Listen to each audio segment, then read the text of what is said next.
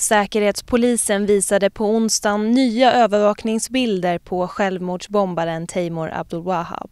Teimur körde upp från Tranås till Stockholm den 11 december förra året, alltså samma dag som han utförde sitt dåd i centrala Stockholm.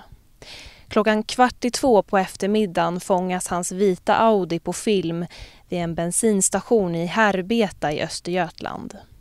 Då är det ungefär tre timmar kvar innan hans bil exploderar på Olof Palmes gata i Stockholm. Teimor kliver ur bilen och går in på bensinstationen. Lägg märke till att han är lite rund om magen och alltså verkar ha något under jackan.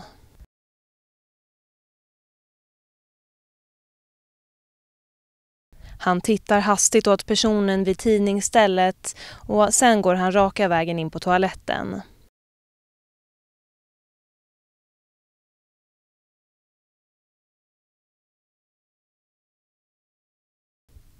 I nästa sekvens kommer han ut igen.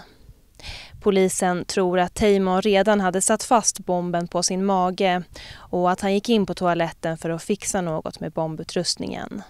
Utredningen har visat att han hade en tryckkokare med mellan 3 och 4 kilo sprängmedel på magen. När Teimor några timmar senare ska utföra sitt terrordåd så är det just den här tryckkokaren som detonerar och som blir hans död.